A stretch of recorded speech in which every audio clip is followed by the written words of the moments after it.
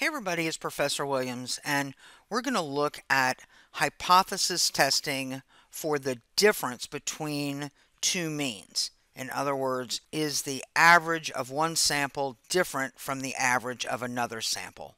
And for this example, we are going to assume unequal variances. I have a sample of 10 years of returns, average returns from the gold industry and the oil industry. And what we want to determine is at a 5% level of significance, is there a difference in the average return in the two industries? In other words, we're going to test that HO is going to be the mean of 1 minus the mean of 2 is equal to, the way we note this often is D0.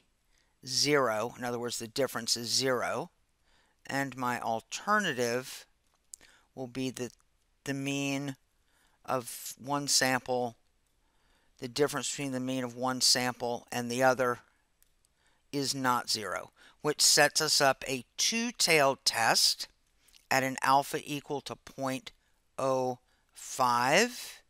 Because we have sample data, we're going to run a t-test. And because our sample size is only an n of 10, there is an assumption or presumption that the gold and oil returns are normally distributed. So I'm going to come up to data. I'm going to go all the way to the right and select data analysis. That'll appear on your ribbon. And I'm going to scroll down until I get t-test for two samples assuming unequal variances. Um, we can't presume that the amount of variation in returns in the gold industry is the same as the variation in returns in the oil industry. So we're going to use unequal variances. I'm going to say OK. So variable 1 I'm simply going to select column A, close that. Variable 2 will be column B. Um, we want to know, is there a difference? Remember we said D0, so hypothesized difference is 0. Click, click this label because I selected my entire column. So let Excel know that you have labels.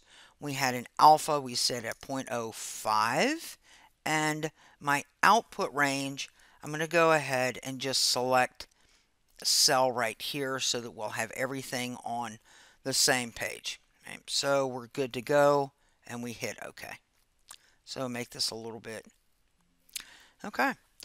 All right, so the two things we're interested in is one is this t statistic, um, which is our calculated test value and then we want to see the p-value for a two-tailed test. Remember we said it was equal to, not equal to, and here's my p-value of 0.766.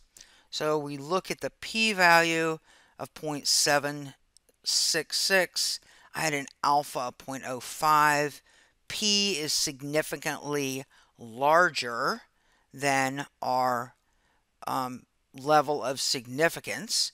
And so when P is high, our decision is do not reject HO. And our conclusion is going to be that while the average return in the oil industry seems to slightly outperform the average return in the gold industry, the difference is not statistically significant. I hope that you found this useful, and as always, thanks for watching.